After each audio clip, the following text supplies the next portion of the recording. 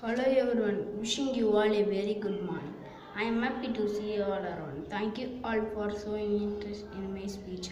My today's speech is about the importance of discipline. I hope you could like my view. Discipline children in school is a art of the training children to grow up to be well a just member of a healthy society. Discipline in school life is very important for students. We can't be well educated without discipline.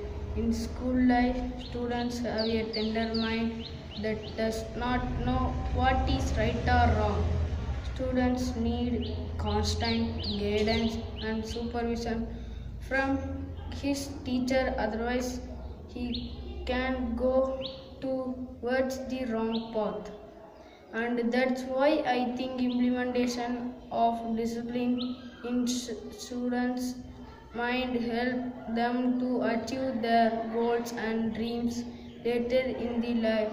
Thank you all for listening me carefully. I hope you have liked my view on my topic. Thank you.